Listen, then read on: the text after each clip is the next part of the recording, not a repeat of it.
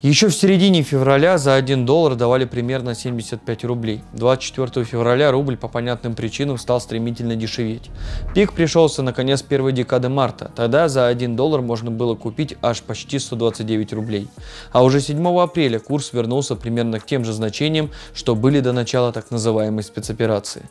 Так что, черт возьми, происходит? Что будет дальше, чего ожидать? Об этом в сегодняшнем выпуске. Это Fury Drops, блок о популярной экономике и экономической науке. Меня зовут Григорий Баженов, и мы начинаем. Прежде чем я отвечу на все вопросы, хочу поблагодарить всех подписчиков, помогающих каналу.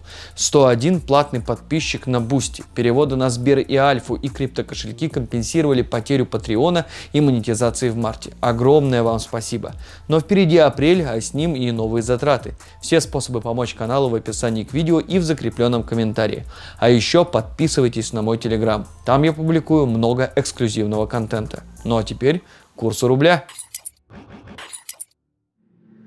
Валютный курс – это стоимость валюты одной страны в валютах других стран. Он определяет, например, сколько рублей стоит доллар или юань. Если в стране действует плавающий валютный курс, то стоимость валюты определяется на валютной бирже под воздействием факторов спроса и предложения. Например, в какой-нибудь стране развивается очень активно какая-нибудь отрасль. Предпринимателям нужны деньги, и они готовы предложить инвесторам хороший доход. Представим, что проинвестировать готовы иностранцы, а значит им понадобится местная валюта страны. Спрос на нее вырастет, а значит и курс пойдет вверх. Или вдруг такое, в стране растет спрос на импортные товары. Это значит, что нужно продать местную валюту и купить валюту страны, откуда пойдет импорт. Предложение национальной валюты увеличивается, ее активно продают, а значит валюта подешевеет. Или вот есть у нас страна, которая больше экспортирует, чем импортирует. Если экспорта становится очень много, то предложение иностранной валюты вырастает, и национальная валюта снова укрепляется. А еще иностранную валюту могут покупать, потому что она стабильнее, в ней можно сберегать деньги, особенно в условиях серьезной нестабильности. А еще спрос на иностранную валюту может быть связан со спекулятивными факторами. Короче говоря, на курс национальной валюты может оказывать влияние огромное количество самых разных факторов. Политические события, стоимость экспортных товаров для страны, денежно-кредитная политика национального ЦБ и политика ЦБ стран, валюты которых считаются резервными – Короче, факторов очень и очень много. В России установлен режим плавающего валютного курса. И долгое время Центральный банк посредством интервенций только сглаживал сильные колебания. Но систематические интервенции не происходило, в отличие от той политики ЦБ, которую он проводил в нулевые. Серьезных валютных ограничений не было. То есть доллары, евро и другие иностранные валюты можно было свободно покупать и продавать, переводить за границу и приобретать иностранные активы. В таком режиме на курс оказывали влияние влияние преимущественно фундаментальные факторы, то есть такие, которые важнее всего для курса. Для рубля такими факторами были цены на нефть и газ, а также другие экспортные товары. Почему? Потому что если цены растут, то валютная выручка экспортеров растет. Часть затрат они несут в рублях, а значит предложение валюты тоже растет. Конечно, важен был также инвестиционный климат. В России он, мягко говоря, не очень. А значит спрос на рубли со стороны иностранных инвесторов был не самый активный. Вообще важен баланс счета текущих операций. Это такой счет в платежном балансе страны, где отображаются экспортно-импортные операции. И чем больше экспорт превышает импорт, тем крепче должен быть рубль. Но, конечно, наша экономика не самая большая в мире. Рубль не резервная валюта. И спрос на доллары и евро всегда был достаточно высок, чисто по соображениям сбережений. А еще время от времени повышенный спрос на валюту предъявляли государственные органы. Минфин покупал разные валюты на рубли, чтобы пополнить фонд национального благосостояния. И, конечно, геополитическая напряженность вносила свою лепту. В общем, и здесь было много самых разных факторов, но потом наступило 24 февраля 2022 года. После того, как началась так называемая спецоперация, на Россию посыпались санкции. В частности, были заморожены золотовалютные резервы Центробанка. Поддерживать рубль в условиях, когда многие компании уходят с российского рынка, в том числе выводя свои рублевые активы в валюту, стало невозможно в той же степени, в какой это было раньше. Рубль улетел в небеса, стали сильно дорожать импортные товары. Когда заморозили резервы ЦБ, я сразу же сказал, выводите доллары и долларовые активы в кэш. Скоро будут валютные ограничения. При этом покупать валюту я не советовал, потому как считал, что регулятор будет прилагать усилия для стабилизации курса и в итоге можно больно обжечься. Но не все послушали. Давайте вообще вспомним о том, что ключевой мандат ЦБ не курс, а инфляция. Но если курс становится ключевым проинфляционным фактором, а возможности для интервенции перекрыты, у регулятора нет другого выхода, кроме как ввести ограничения на движение капитала. Почему так? Потому что в рамках такой нестабильности важно количество валюты внутри страны. А еще необходимо сбивать желание покупать валюту как актив от потери сбережений. Вот и ввели ограничения. Многие говорят, мол, что курс рубля это важнейший индикатор стабильности российской экономики. В целом это справедливо, во всяком случае в головах населения все именно так. Но вряд ли все дело именно в этом. И важны в первую очередь проинфляционные факторы валютного курса. И почему валютный курс сегодня вообще один из ключевых факторов инфляции? Да потому что, во-первых, перекрытые импортные каналы и так делают дорогими товары из-за границы, а ослабление рубля лишь усиливает эффект переноса на инфляцию. Эффект переноса – это воздействие ослабления рубля на инфляцию. Во-вторых, ослабление рубля отражается на инфляционных ожиданиях, рост которых раскручивает инфляционную спираль, что только ускоряет инфляцию. Вот этот весь ажиотаж в марте, он именно про ожидание еще большего роста цен при таком-то рубле. И работа по укреплению курса – это попытка остудить такие ожидания.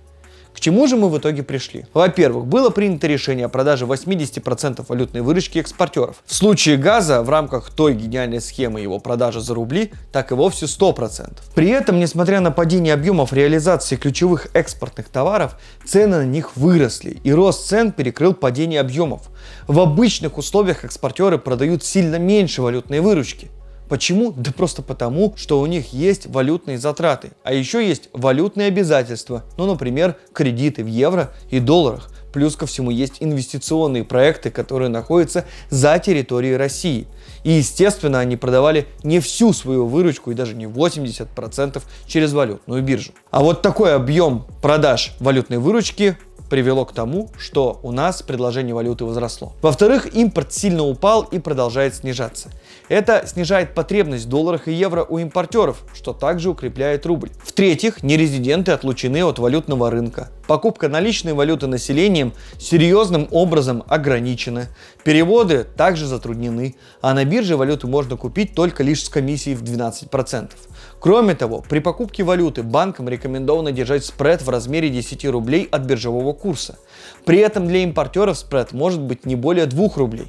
Все это остужает спрос и, конечно, укрепляет рубль. Фактически сегодняшний биржевой курс это баланс между экспортерами и импортерами. И на сегодняшний день экспортеры реализуют намного больше, чем, в общем-то, требуется импортерам. Прочие агенты просто не имеют возможности сегодня влиять на курс.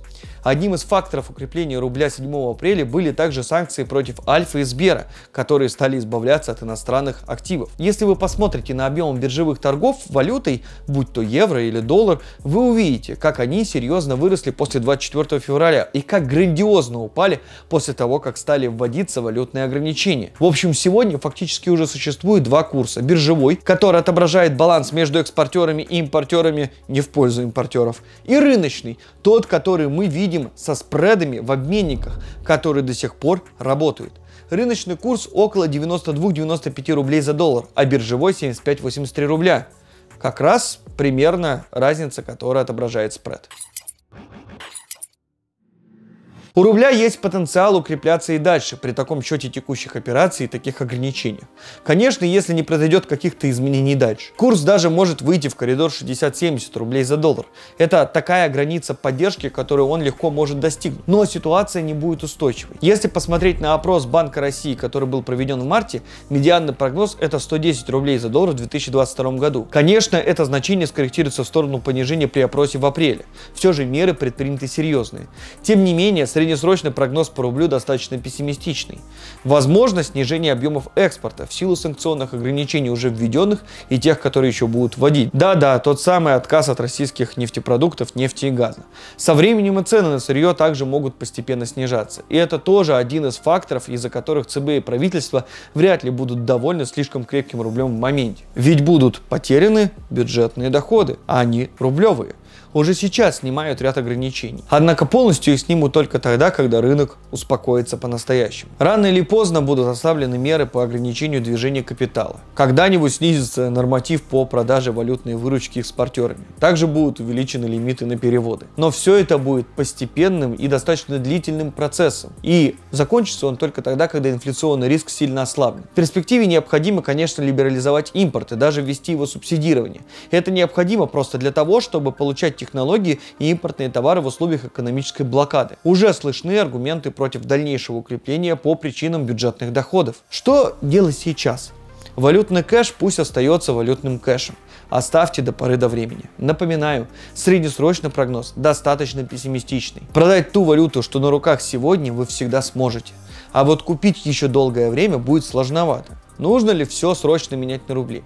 Во-первых, сделать это все еще по-прежнему затруднительно. Да и переплата относительно биржевого курса значительна. Вполне возможно, что 92-95 рублей это и есть то значение, которое мы получим по итогам года. Не думаю, что на таком можно выиграть, учитывая спред. В общем, пока лучше смотреть за курсовой динамикой и внимательно следить за заявлениями Банка России. Ну, как сказал классик. Денег нет, но ты держись.